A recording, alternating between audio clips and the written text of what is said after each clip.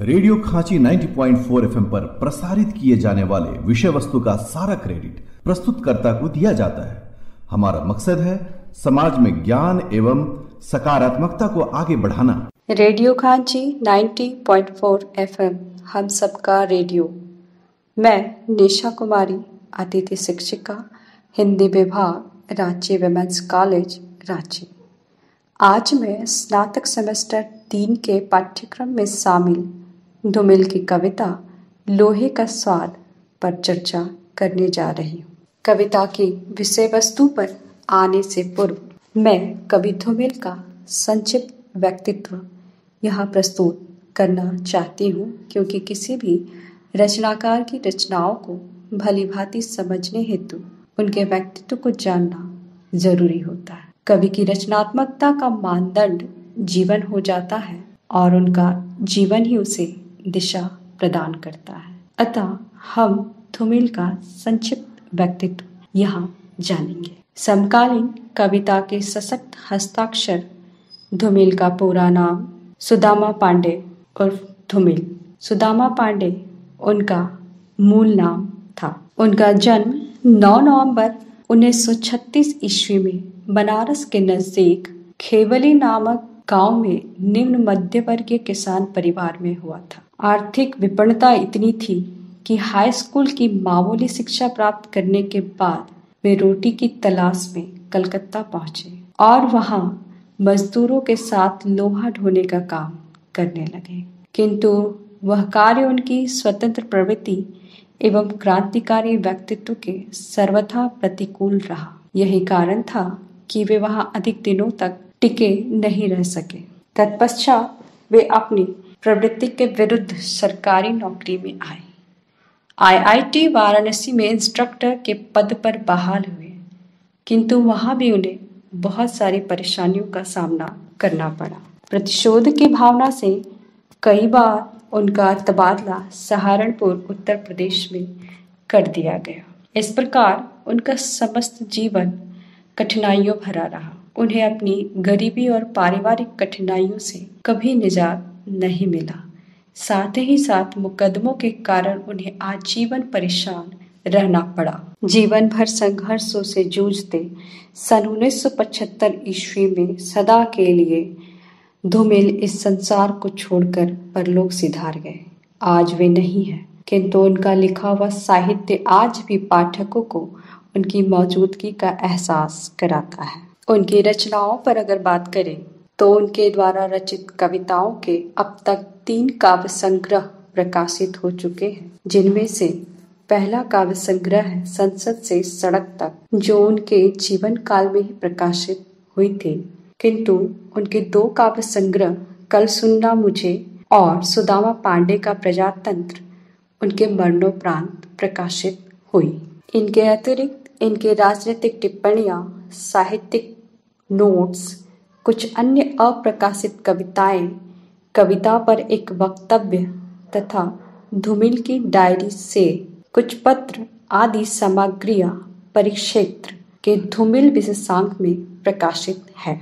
उनकी जो प्रमुख उल्लेखनीय कविताएँ हैं, जो बहुत ज़्यादा प्रसिद्ध हुई, उनमें से है मोचीराम पटकथा, बीस साल बाद, रोटी और संसद, लोहे का स्वाद आदि। उनके अप्रतिम काव्य प्रतिभा को देखते हुए उन्हें उनके काव्य संग्रह कल सुनना मुझे, पर उन्नीस ईस्वी में साहित्य अकादमी पुरस्कार से भी सम्मानित किया गया। धुमिल की कविताओं पर अगर हम बात करें तो हम पाते हैं कि धुमिल की कविताओं में आज़ादी के मोहभंग की पीड़ा और आक्रोश की सशक्त अभिव्यक्ति मिलती है। व्यवस्था जिसने आम जनता को छला है, उन्हें आईना दिखाना धुमिल की कविताओं का परम लक्ष्य है।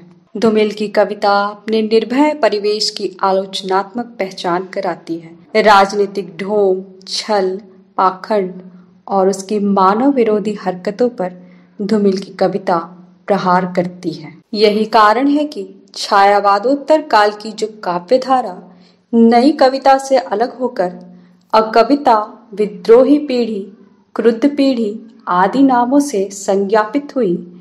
धूमिल उन्हीं में से क्रुद्ध पीढ़ी के सर्वाधिक चर्चित कवि कहे जाते हैं। यद्यपि धूमिल पूरी तरह से नास्तिक थे, पर उनकी कविताओं में मानव भविष्य और राष्ट्र के प्रति गहन आस्था का स्वर है। उनकी कविताओं में सामान्य जन के लिए गहरी पीड़ा और दर्द के भाव निहित है। धुमिल अपनी कविताओं में शब्दों को खोलकर रखने के पक्षपाती रहे हैं। उनका मानना है कि एक सही कविता पहले एक सार्थक वक्तव्य होती है। यही कारण है कि उनकी कविताएँ वक्तव्य की शैली में ही प्रस्तुत होती है। वे कविता के द्वारा हस्तक्षेप करते हुए जनतंत्र से जंगल तक भी पहुँचते हैं। जहाँ उनकी कविता दहाड़ बनकर सामने आती है। उनकी कविता व्यवस्था की लगाम का प्रत्यक्षीकरण भी हमें भली भांति कराती है। लोहे का स्वाद कविता इस दृष्टि से उदाहरणीय है। यह कविता अपने लघु कलेवर में होने के बावजूद काफ़ी महत्वपूर्ण और प्रभावशाली है। कविता की पंक्तियाँ कुछ इस प्रकार है। शब्द किस तरह कविता बनते हैं, इसे देखो, अक्षरों के बीच गिरे हुए आदमी को पढ़ो। क्या तुमने सुना कि यह लोहे की आवाज़ है या मिट्टी में गिरे हुए खून का रंग?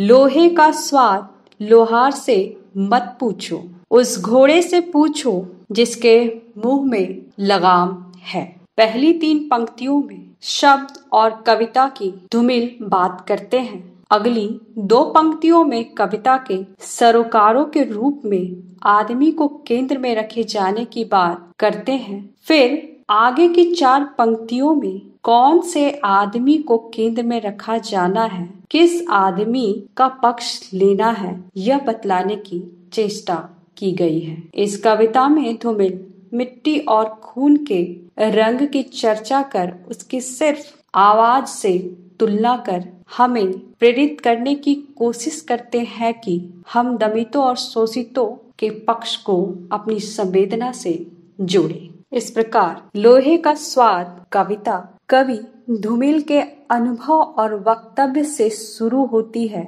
और इस प्रकार कवि कहते हैं, शब्द किस तरह कविता बनते हैं, इसे देखो अक्षरों के बीच गिरे हुए आदमी को पढ़ो। कवि कहते हैं कि उनकी कविता उन शब्दों से निर्मित हुई है, जिनके अक्षरों के बीच गिरे हुए आदमी को बिना पढ़े हुए उनकी कविता नहीं समझी जा सकती है। कवि को मजदूरों के साथ लोहा ढोते हुए, अपने भोगे हुए यथार्थ का पूरा अनुभव है। वो जानता है कि लोहा ढोना क्या होता है और संबद्ध श्रमिकों का दर्द क्या होता है? कवि अपने शब्दों में उस दर्द को न केवल खोल कर रखना चाहता है, बल्कि वह समाज के तीसरे आदमी से पूछता भी है कि, क्या तुमने सुना कि यह लोहे की आवाज़ है या मिट्टी में गिरे हुए खून? कारण, अपनी कविता को दहाड़ बनाने वाला कवि यहाँ अचेतना में चेतना प्रदान करते हुए अपने शब्द को कारगर सिद्ध करता हुआ दिखाई देता है। पुनः आगे कवि, लोहे के स्वाद के आंतरिक रिश्ते की पहचान की बात करते हैं। कवि लोहे के स्वाद के आंतरिक रिश्ते की पूरी पहचान रखता है। यही कारण है कि वह उस दर्द को भली भांति जानते हैं, उसके मर्म को पहचानते हैं। तभी वे कहते हैं कि लोहे का स्वाद लोहार से मत पूछो, उस घोड़े से पूछो जिसके मुँह में लगाम है।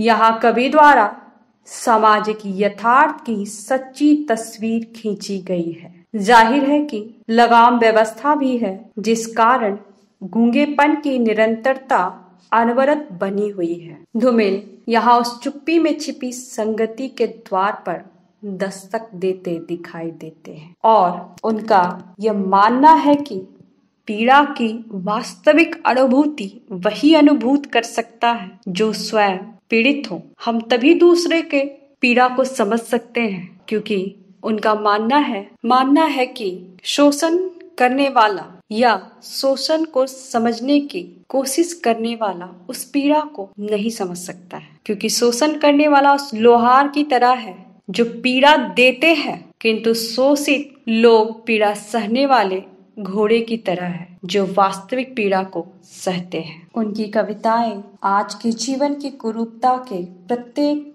पहलू पर गहरी चोट करती है। धुमिल के काव्य में कल्पना एवं भावना का सौंदर्य नहीं है। प्रेम और राग की तरह अनुभूतियाँ नहीं है। नारी रूप के मादक चित्र नहीं है। और प्रकृति के माधुरी का अंकन करने वाले बिंब भी नहीं दिखाई देते हैं। पर उन्होंने व्यक्तिक एवं सामाजिक जीवन की मूल्यहीनता के कारण आई अमानवीयता के प्रति क्षोभ की व्यंजना अत्यंत सशक्त भाषा में की है। ये कविता उसका ज्वलंत उदाहरण है। ये कविता उस समय भी उतने ही प्रासंगिक और प्रभावशाली थी और आज भी उतनी ही प्रासंगिक और प्रभावशाली दिखाई पड़ती है। इस कविता की कलागत विशेषता पर भी अगर हम ध्यान दें तो इसकी काव्यगत विशेषता जितनी विशिष्ट और अनूठी है, इसकी कलागत विशेषता भी उतनी ही भिन्न है। क्योंकि धुमिल शब्दों को खोलकर रखने की कला